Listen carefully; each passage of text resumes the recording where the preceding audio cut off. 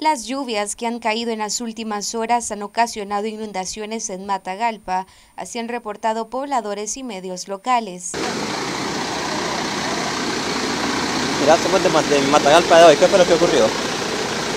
Además reportan un deslizamiento de tierra en la carretera tradicional de Matagalpa a Jinotega, cerca del empalme hacia la fundadora.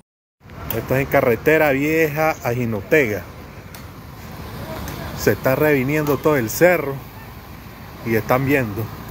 Reportan además que la quebrada La Dante en Quilalí, Nueva Segovia, se desbordó esto debido a las lluvias que han estado cayendo en las últimas horas.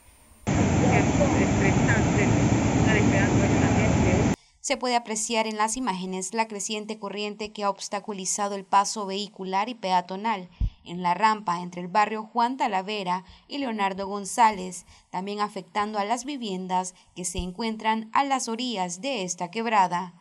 Medios locales instaron a la población a no arriesgarse a cruzar a pie ni en vehículo, ya que estos ríos y quebradas han crecido grandemente lo que podrían ocasionar una tragedia.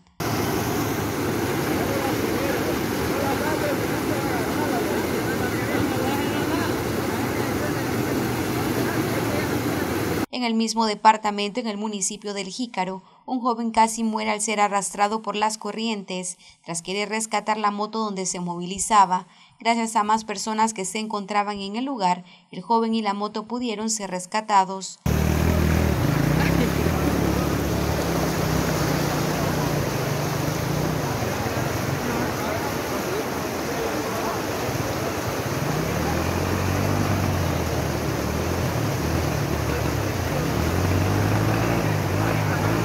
Las maderas Tipitapa también reportan crecidas de los ríos.